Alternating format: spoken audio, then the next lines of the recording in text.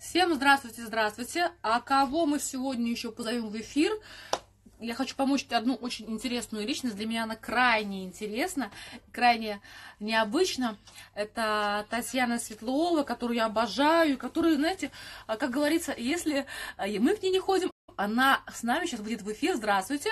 Мы поспрашиваем у нее о некоторых интересных вещах, о перспективах, о том, о психологии, ну и, конечно, об о ужасном, но таком горячо любимом проекте. Всем здравствуйте, здравствуйте. Давайте сейчас мы ей помашем.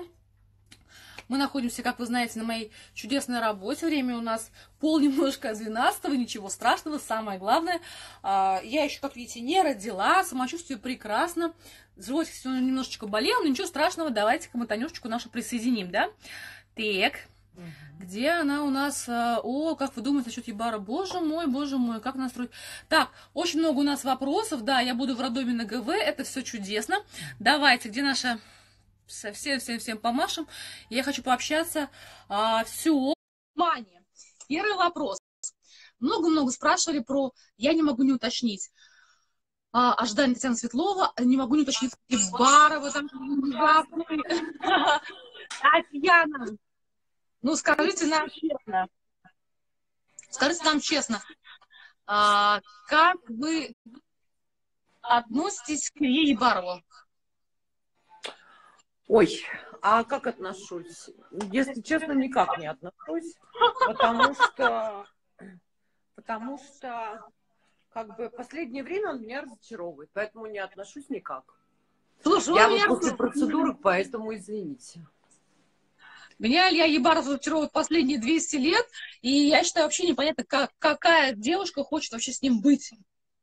Ну, какая девушка хочет с ним быть? С ним, на самом деле, э, хочет быть Марго. Единственное, что у них постоянно какие-то перипетии, постоянные разногласия, еще что-то. Но мне кажется, что вот сейчас их что-то объединяет. Может быть, объединяет их, ну, там, какие, как общий проект. Это первое. Вот. Ну, а также, конечно, объединяет их то, что, знаете, как в детстве, есть против кого дружить. Вот они дружат а, с ней против всех. Против всех кого? нравится. Ну, против э, всех, против тех, кто, с кем они, с кем они чем-то чем они чем-то недовольны и так далее. Пока у них сейчас хорошие отношения со всеми, но я думаю, что в ближайшее время начнется у них, как вы сами понимаете, различные перипетии начнутся с Аленой, но это логично. Угу, угу. Да. Такой, такой интересный вопрос еще тоже от, от публики, да, я знаю, что а, многие спрашивают, почему а, лично вы думаете, действительно ли беременность и возможность родить ребенка на проекте это единственный шанс некоторых личностей удержаться? Как вы, как человек, а, публично относитесь к тому, что многие женщины используют возможность родить ребенка, чтобы остаться у вас? Вот личное мнение. Ну, а кто вы имеете в виду сейчас, Рапунцель и Алена, что ли? Вот это э, э, в этом смысле? Я имею в виду Сашу Черно, которая наивно полагает, что она через три месяца родит, и потом она останется у вас. Вообще, как явление, что при помощи ребенка удержать мужа, при помощи ребенка а, сделать а -а -а. так, чтобы была в нужном месте. Не, мне кажется, что это вообще патовая ситуация, когда женщина думает о том, что забеременев и, ну, условно говоря, если она забеременеет, родит, у нее будет ребенок, mm-hmm. то что каким-то образом она вообще сможет удержать кого-то. А вопрос в том, что женщина таким образом, самое главное счастье, что у женщины появляется ребенок, потому что это очень важно. А все остальное это абсолютный провал. Для ребенка тоже это проблема, потому что ребенку нужен отец, он должен быть социально адаптирован. А, и ради того, чтобы остаться на проекте или что-то там э, поиметь какие-то блага, ну не знаю. Вот Мое именно. мнение вот такое. Мое мнение такое. А как вы считаете, Татьяна, вот ваше личное мнение, должна ли женщина быть самостоятельной или надо ли ей прям обязательно выходить замуж, чтобы ребенка этого родить? Ну, мое мнение такое, что да. Я вообще считаю, что женщина должна быть замужем, у нее должен быть муж, потому что ребенок должен расти в полноценной семье. Объясню почему. Потому что социальная адаптированность, она как бы должна быть у ребенка однозначно. Потому что когда ребенок придет в школу, его спросят, а кто твой папа, а кто твоя мама? И ребенку будет тяжеловато, если, например, у него будет отсутствовать отец. Понятно, что впоследствии может по-разному жизнь сложиться Но лично мое мнение, если вы спрашиваете меня, то я считаю, что да, обязательно. Отец должен быть. Еще очень много вопросов про Яну, ой, про эту Юлю Началову, которая взяла немножко умерла, а, немножко вот такое. Ну, тут я не хочу выступать в качестве... Давайте для меня лично, как для беременной, я не хочу на эту тему расстраиваться, но знаю, что Татьяна с ней училась, да, вот несколько, несколько слов. Ну, я расстроилась, на самом деле, очень, потому что не знаю, для меня вообще какой-то такой момент, когда ты понимаешь, что ты молод, да, но, несмотря на это, начинают уходить твои ровесники. Вот это вот такой момент, который меня как-то немножко подвыбил из колеи, между прочим, еще вчера, потому что я увидела, услышала, меня это очень расстроило. Потом начинаешь, как любой человек, а, воспом... ну, воспоминания тебя как бы очень сильно тревожат. Ты начинаешь вспоминать, как дружили, как общались, как познакомились и прочее. И, естественно, немножко, ну как, не то, что немножко, а тяжеловато внутри становится все это как-то вспоминать, и думаешь, почему, ты начинаешь задумываться о несправедливости. Может быть, это и неправильно, кстати, но вот такие мысли посещают. Она была классная девчонка, реально. А лично у меня плохих впечатлений нет. Мы всегда общались, дружили, и такие самые яркие студенческие годы мы проходили вместе с ней. И вся наша команда и коллектив мы дружили все. У меня такое лицо, Татьяна, после ваших процедур, что просто ужас. Я реально красная, но зато потом буду очень красивая. Правильно? Это явление. Что, Танюш, э, правда, что, не знаю, суррогатная тайка Рапунцелем родила, в этой жизни я не поверю. Что? Рапа родила суррог... а рапер родила суррогатная мама? Нет, я еще не... Да. Нет, ребят, нет, вы что? Она сама родила. Она да, сама конечно, родила, мы... сама рожала. Это совершенно точно могу сказать вам сто процентов. Даже можете в этом не сомневаться. Да, конечно, все мы видели ее живот такой же. Давайте я тоже, я тоже свой покажу, где он там у меня. Вот так и вот так, видите, накладной. Все как положено. Вот здесь пристегивается. Вот. Так, соленый помидор кто-то ест. Спасибо большое, как хорошо. Я еще не родила, может быть, рожу как говорится, да, ну, не знаю, когда, как получится. Да, не а, надо как, загадывать, да. Как получится. Э, сам ребенок выбирает, когда ему появляться на свет. Совершенно точно, совершенно да. точно.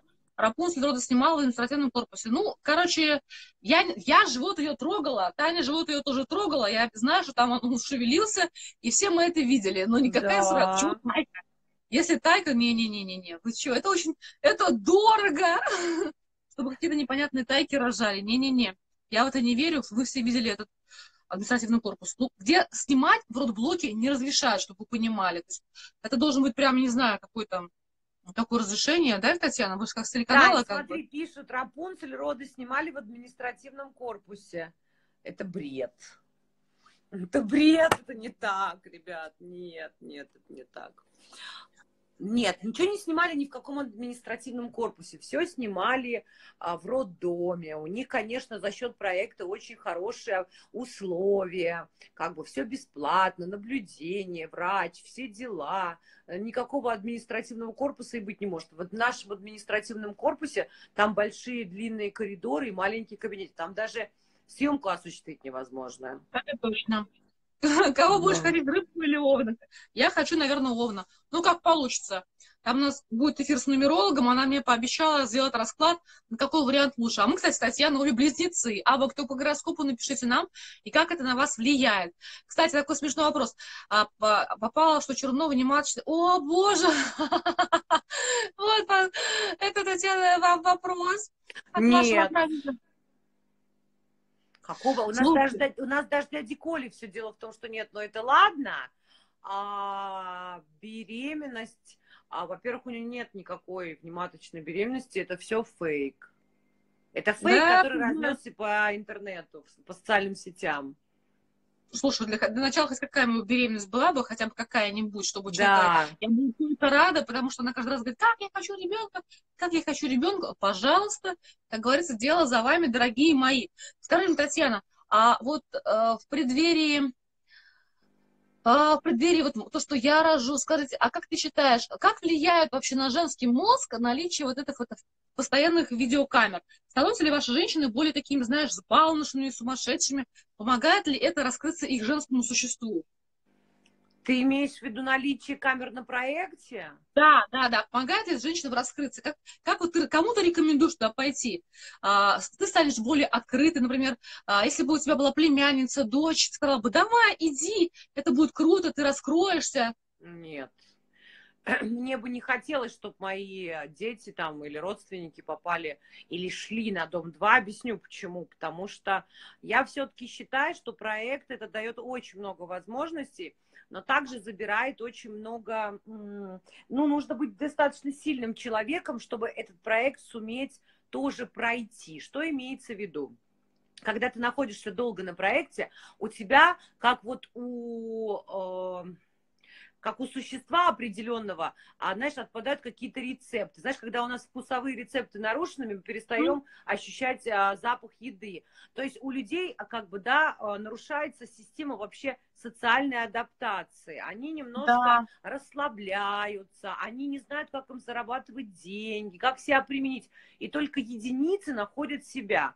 Поэтому я считаю, что э, э, если ты пришел на проект, если ты реально хочешь построить свою карьеру на проекте, дальше нужно идти и строить карьеру в творчестве. Вот тогда у тебя есть реальные шансы. Я имею в виду быть актером, певцом, артистом, там еще... Фотографом, что-нибудь, да, связано да. с творчеством и с некой истерией, возможность себя раскрыть. А вот так, если ты хочешь просто, знаешь, попробовать свои силы, а потом выйти замуж за миллионершу, как это хотят некоторые мужчины, красавцы у вас там, то это, конечно, да. такая меня очень сомнительная. Ну, вот так. Ну, в любом ну, случае... банкиром стать сложно будет после проекта, честно скажу. И, и финансистом, и банкиром. Так, так, так. О, так вам Катя написала вопрос про какой-то там на Да нет, это глупости, все.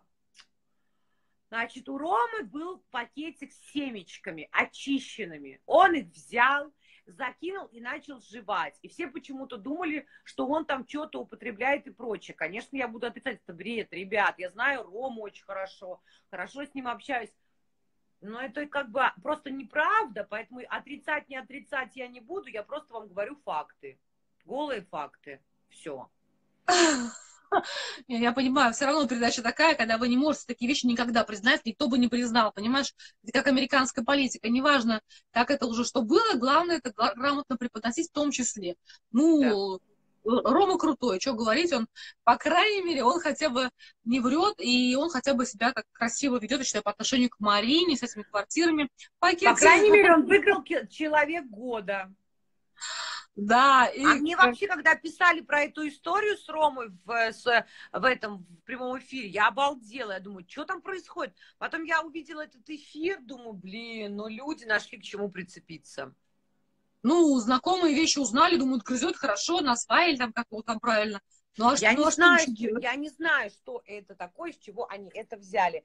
Я просто с Ромой даже говорила, говорю, Ром, что там за семечки у тебя? Он говорит, ой, я даже не хочу это обсуждать, люди злые.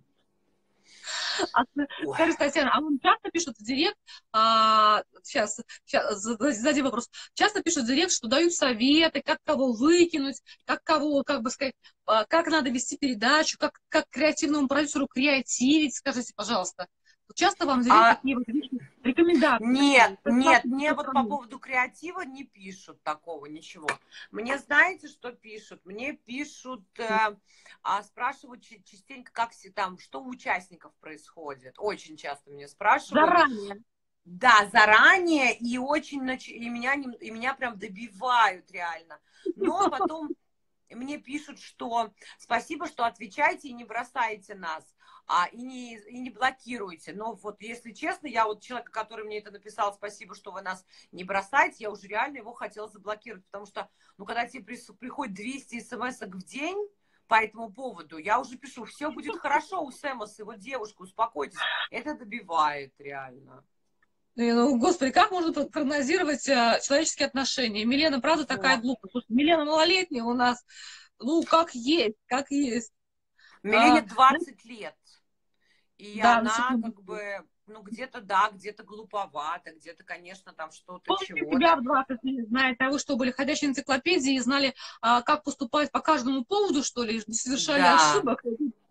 Но Милена не такая глупенькая, как вам всем кажется. Милена свое дело туго знает. Смотрите эфир во вторник и все услышите. А, она к этому времени закончила Гарвард? Нет, она, вы, вы, она выступит там против одной пары, очень э, такой, достаточно а, долгой на проекте, и выскажет им свои требования, что она, например, считает, что у них все а, как-то очень нечестно по отношению к другим участникам. Вот. А вот какая это будет пара, узнаете уже из эфира. Но я, кстати, в этом случае не за Милену. А, вот так вот, глупо в свою пользу. Золотые слова, голые фото Ефременко. Слушайте, это из интернета все удалить невозможно. Кто-то уже заскринил, сохранил, это все нереально. Вы что, это же интернет. Татьяна, касаемо вашей, касаемо вашей профессии, скажите, а легко работать на телевидении? Нет, Работать на телевидении тяжело. Нужно иметь очень твердый характер и стрессоустойчивость. У меня тоже не всегда получается. То есть я реально держусь, держусь, держусь. Вроде все хорошо, но вот как, Татьяна, вы говорите, нужно пить железо, нужно пить витамины. А телевизионщики да. все это не пьют. Они пьют кофе, курят и все время нервничают. И вот я благодаря вашим советам реально сейчас все это закуплю и буду пить, потому что а, действительно работа на телевидении, стресса, очень напряженная работа, и постоянно ты находишься в таком колесе, я бы назвала колесо стрессов. И если ты, например, не можешь с этим справляться, то потом у тебя могут возникнуть нервные срывы. Чтобы не было, вот я поэтому рекомен... Э, ваши рекомендации всегда очень четко смотрю в ваших аккаунтах. Кстати, а вот ваши ребята, почему та же самая Купина Майя, да, Милена, всякие там товарищи, почему никакие витамины не пьют, не, как бы, как они себя поддерживают? Почему мы видим очень много истерик, как вы считаете? Почему вот смотришь, и они такие все, вау, вот так вот все бьют? Я бьют, считаю, бьют, что это из-за замкнутого пространства. Потому что если в обычной жизни мы можем делать все, что мы хотим, куда хотели, туда и пошли, то здесь как бы закрытое пространство, ты 24 часа в сутки находишься с одними и теми mm-hmm. же людьми, плюс, плюс ко всему. Даже, например, если ты поругался со своей второй половиной, ты можешь пойти и расслабиться, mm-hmm. а тут ты не можешь, да. ты все время находишься с ней, и тебе даже выхода этих негативных эмоций нет. Они пьют, на самом деле, витамины, но, может быть, не такие, как вы советуете, но пьют. Но я думаю, что это все только из-за замкнутого пространства. Только. Очень даже может быть. Если было бы в чистом поле и с возможностью устроить Вавилон, было бы по-другому. Так, свадьба да. на миллион, правда, много. У, только, только вечерно с, с, как там его зовут? Я на новеньких Серьезно? участников ставлю. Думаешь, Безус? Кстати, проверьте Безуса про его, про его мнение многих, что он... Господи, да не наркоман он. А, ты, а вы про кого, Тань, думаете, свадьба на миллион? Про кого? Ну, я думаю, что, наверное, выиграют эти новенькие ребята, которые там у нас... Э, Даниил Саймон и Таня Строкова? Да. Они классные. Ну, они хотя бы, они хотя бы такие приятные, если собираются жениться. Но я бы не хотела, чтобы Черно с Аганесяном выиграли, как вы Черноганесян выиграли, потому что я считаю, что немножко аморально. Марина и Кап. Блин, опять Марина и Кап, у них уже все было, у них уже все хорошо. Ну, очень многие сейчас пишут про то, что э, Леша с Майей тоже достойны выигрыша. Очень многие это пишут. Так, мы с тобой должны пари заключить. Называется «Сделайте ваши ставки, господа». Но я по, по психологическим портретам, конечно, мне кажется, более-менее самая устойчивая пара – это без Елены. Однозначно. Такая мощная сцепка этих всех, всех этих 50 оттенков серого, что просто удивляешься. То есть ты считаешь, что Милена а, Безус? Да. Да? А?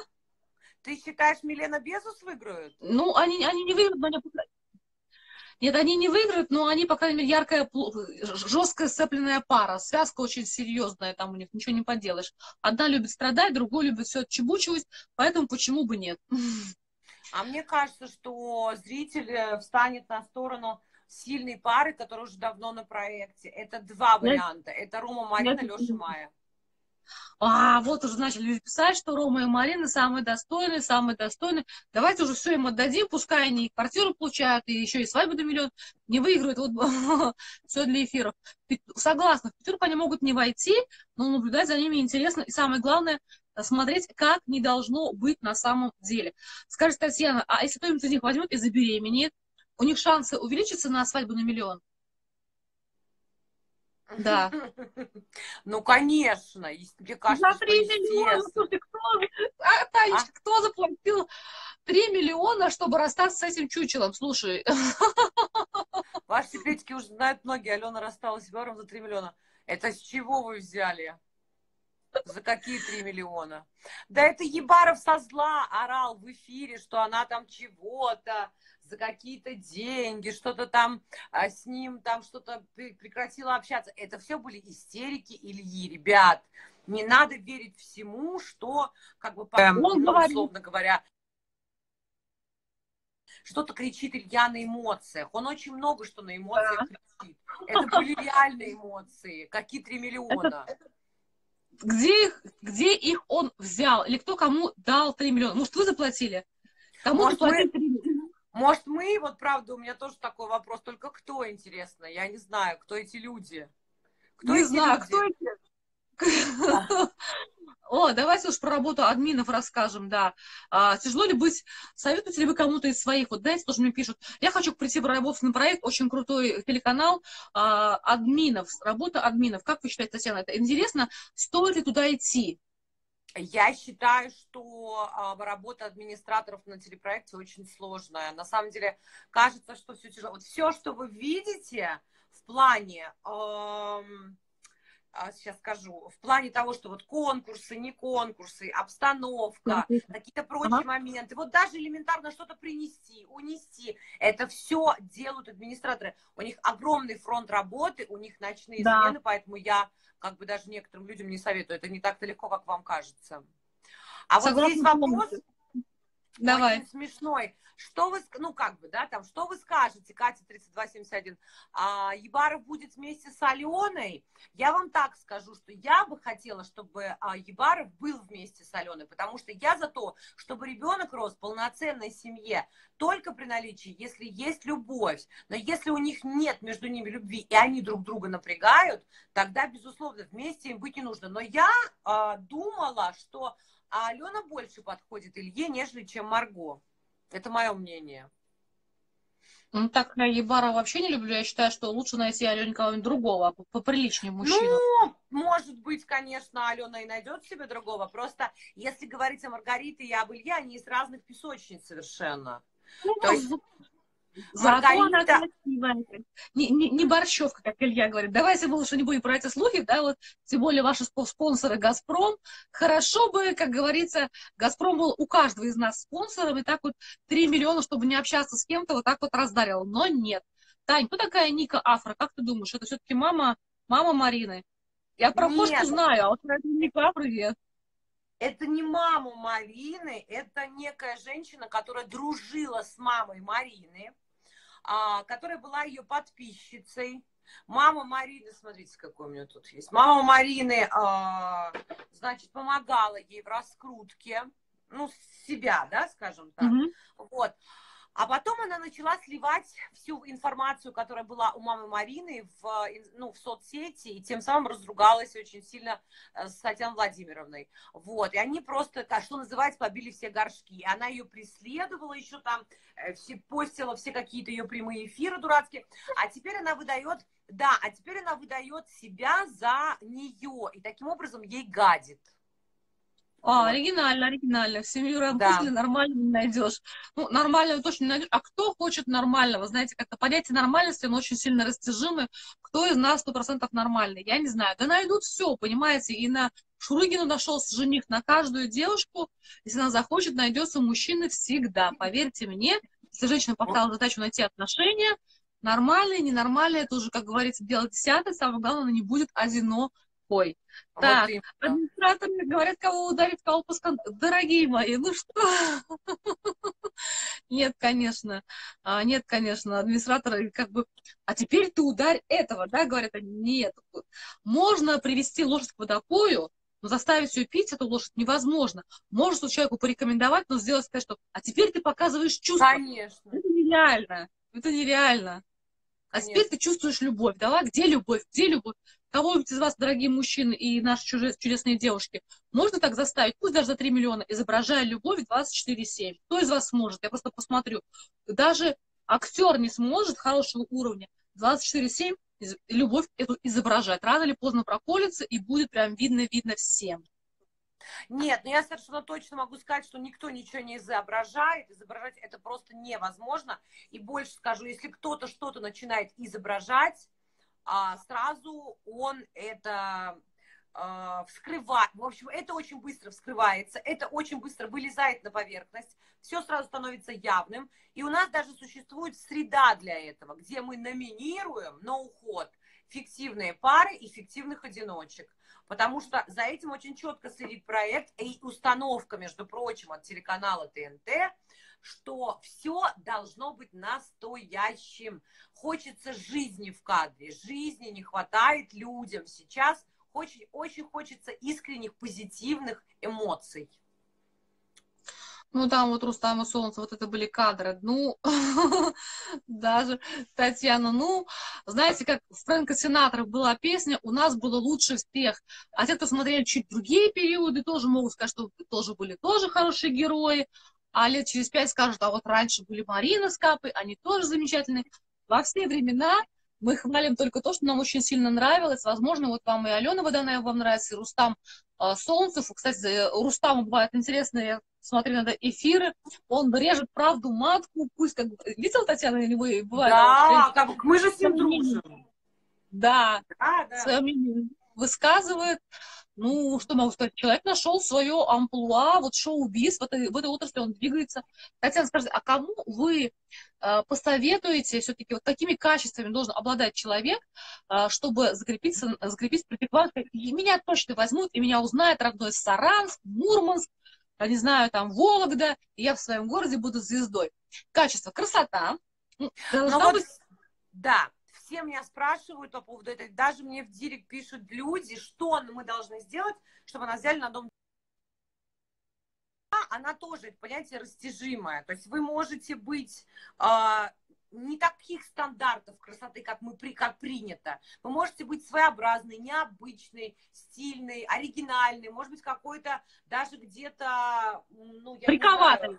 Приковатый, да, обязательно. Если вдруг у вас-то есть, это наоборот интересно. Но самое главное, это, как говорит Юлия Ефременкова, проект разговорного жанра. Это первое. Второе а, нужно что-то иметь за плечами, какую-то историю, какой-то бэкграунд, вы должны быть чем-то интересны, вы должны понимать, чего вы хотите в жизни. То есть, если вы думаете, что на проект просто попасть абсолютно обычному человеку, который придет и говорит, ну, я не знаю, чего я хочу, вы мне подскажите, а я сделаю. Да невозможно попасть сейчас на проект, потому что... Ну, это, ну, ну, как и в жизни тоже, если кораблю, который не знает, куда плыть, любой ветер не будет попутным, то есть какая-то да. должна быть, какая-то цель должна быть, да, ради чего все это ты делаешь, ради чего стараешься. Никто свою голову тебе не поставит, скажет, о, дорогой. Нет, я таким людям советую.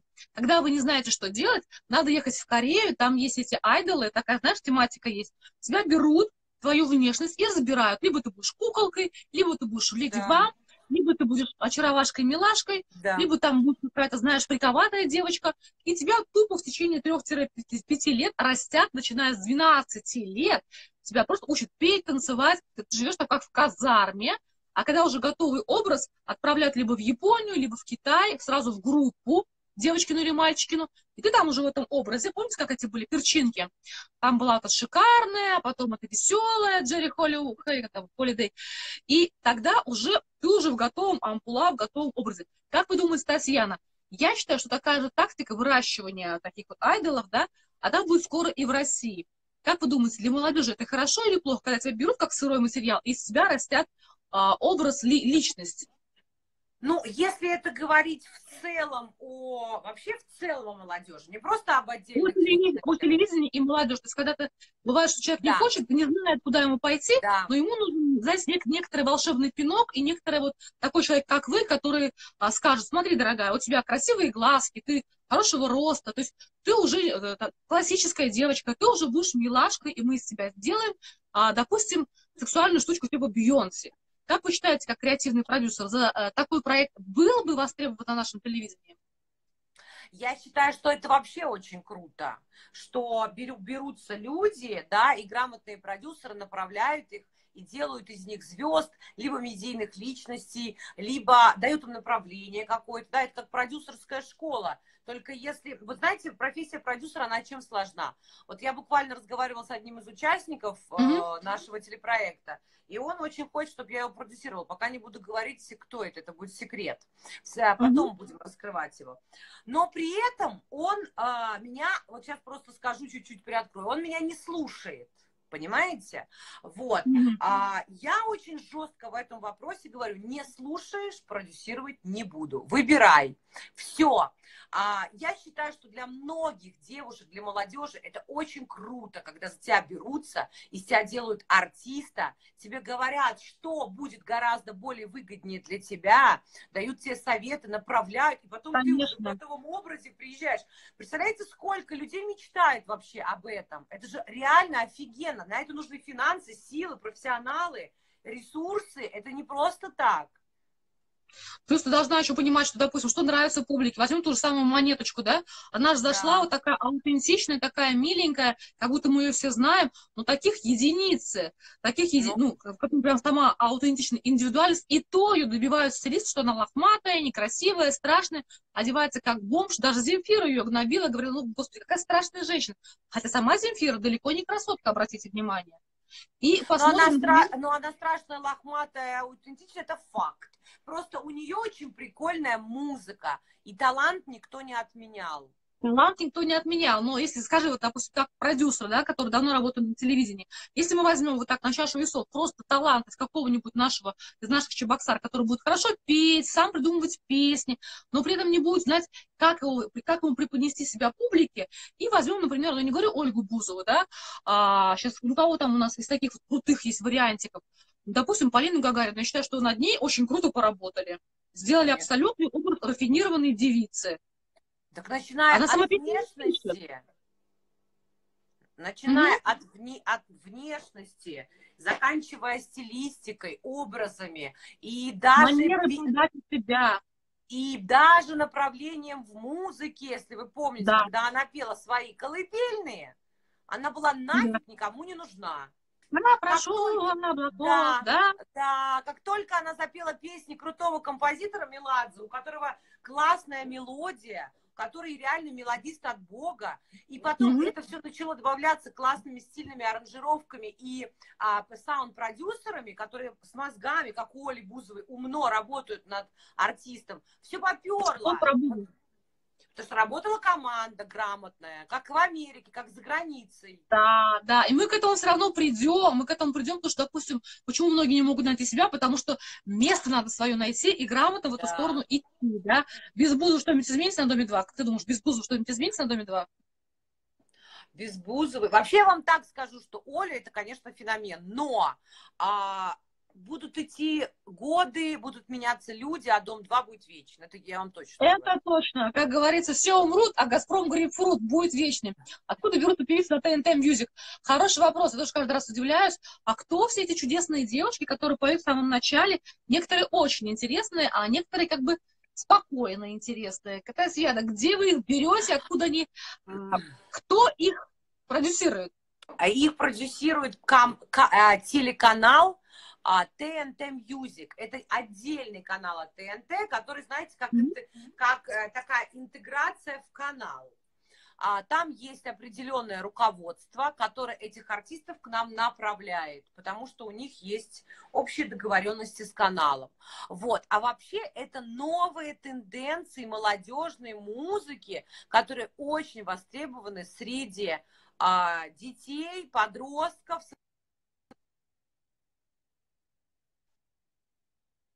Угу, угу. Так, подзависло у нас немножечко, да? Угу. Сейчас оживет, оживет. Оживет. Давай, оживайся, дорогой. Ай, вай, вай, вай, вай. Угу. А? Так, друзья мои, ничего страшного. Татьяночка у нас сел телефон, я эфир обязательно сохраню. Грандиозный ответ. Мы затронули очень щепетильную совершенно тему. А, да, Юлия Началова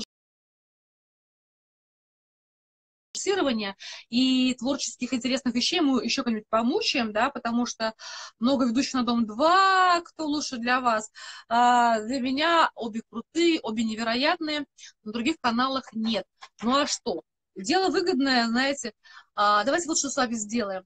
Я поняла, что вам очень нравится эфир с Татьяной, она потому что гениальна в этом плане и знает огромное количество тонкостей. Я бы хотела, чтобы вы не только про Дом-2 спрашивали, а именно про такие тайные вещи на телевидении, о перспективах для молодежи, куда пойти потом, а, допустим, если ты поешь, на что обратить внимание. Как продюсер она знает очень-очень много, и знакома, я вас уверяю, с огромным количеством селебрити, даже с Юлией Началовой, а, земля и пупом, она вместе училась и все это знает, вот путь, как, что. Так что, друзья мои, я обязательно ее еще раз приглашу. Вопрос мне задавайте также в личные сообщения. А сейчас давайте мы меня отпустим, время 12, а, как известно, я у нас, видите, должна уже скоро родить, поэтому на себе приятной а, с удовольствием отвечу на все вопросы с Татьяной вместе. Спасибо вам всем. Спасибо. Спасибо.